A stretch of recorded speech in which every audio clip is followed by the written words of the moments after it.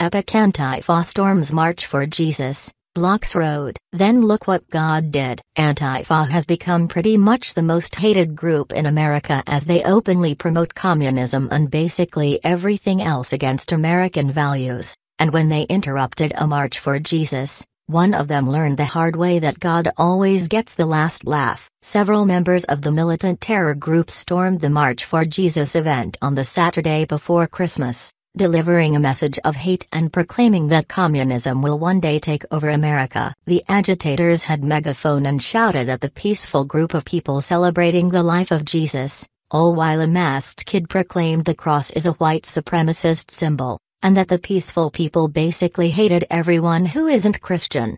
Their obsession with their holiday, their obsession with freedom of speech marks that they want to hurt people, he said. The Independent Journal reported. Meanwhile, a members of the Christian group could be heard saying over a PS system that this isn't a funeral, this is a party for our Lord and Savior Jesus Christ.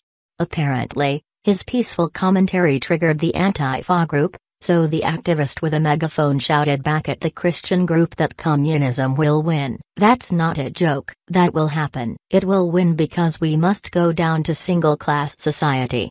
What happened next couldn't have been any more perfect. A video posted by Ruptly shows one of the anti-fa agitators attempting to flee the peaceful demonstration, as he and his buddies are trying to block a busy road. The most epic thing possible happened. He was hit by a friggin' truck. Boom. Apparently God wasn't too happy with these rejects interrupting a demonstration celebrating his son. In an ironic twist, the very people these nitwits were protesting ran over to assist the injured Antifa member. As it turns out, he suffered a broken hip from the impact, and was rushed to the hospital to receive medical treatment. Suffice it to say, God works in mysterious ways, doesn't he? If you enjoyed this story, be sure to follow Sean Brown on Facebook.